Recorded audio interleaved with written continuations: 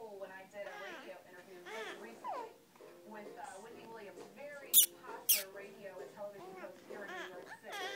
And uh, naturally, she was called and, uh, Roses, ashes, ashes, they all fall down.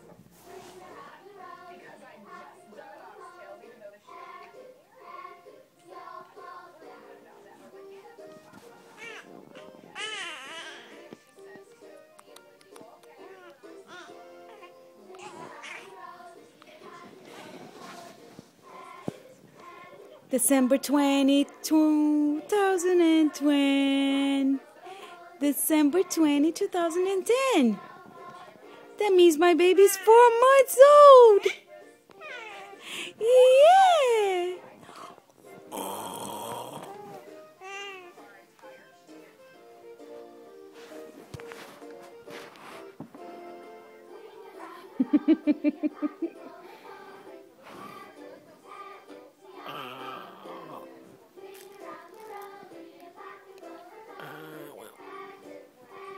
I'll fall down.